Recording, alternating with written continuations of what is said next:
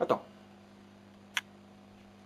Donc, euh, par rapport à votre registre musical, vous vous placez où exactement? Vous êtes plus dans le classique ou dans le contemporain. J'aime bien toute la musique, mais pour Elise, c'est beau. Et je le jouais mieux avant, maintenant je suis en train de le refaire, et alors il faut être en rythme. Je, je retravaille la main Mhm. gauche aussi, j'aimerais bien faire des cours de piano, mais j'ai toujours pas de professeur parce qu'il y a beaucoup de demandes. C'est du travail, quoi, parce que je fais la clarinette, le sax, la flûte traversière, la batterie, la basse, la guitare. euh, on ne sait pas tout faire et je n'ai pas beaucoup de Mhm. temps. euh, voilà, et je, je- je jouerai euh, plus tard, euh, on le mettra sur YouTube quand je serai au point. on- mais il y avait une suite à- pour Élise de Beethoven, mais je Mhm. ne la retrouve plus dans mes partitions. Et je savais jouer la première page à une main déjà, mais c'était déjà pas mal parce que c'était quand même très compliqué. Et euh...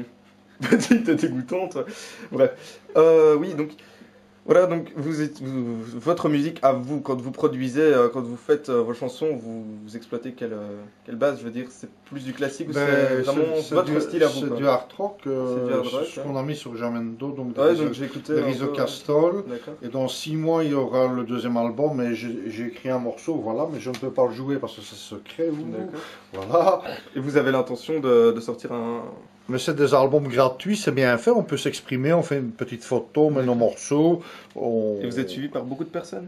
Ben, pour le moment, euh, ça fait 15 jours, 3 semaines qu'on les a mis. euh, D'après Nicolas, il y a déjà 700-800 vues pour Ah, tous les quand même, pas mal, pas mal, pas mal, pas mal. euh, d'écoute quoi et alors euh, euh, les morceaux ben voilà c'est Nicolas qui a composé beaucoup moi Mhm. je j'ai repris une mélodie qu'un de mes amis avait composée quand j'étais j'avais 16 17 ans et je trouvais que c'était une belle mélodie Mhm. euh, et alors Nicolas a un peu apporté d'autres accords et à la, à la basse non pas aujourd'hui parce que on peut pas le mettre sur YouTube euh, ils seront sur Jamendo euh, bientôt je crois qu'il y est peut-être déjà, mais je n'en suis pas certain. Mhm, mhm. Euh, S'il y est, ben je, demande, il faut que je le réécoute et j'ai pas internet. Et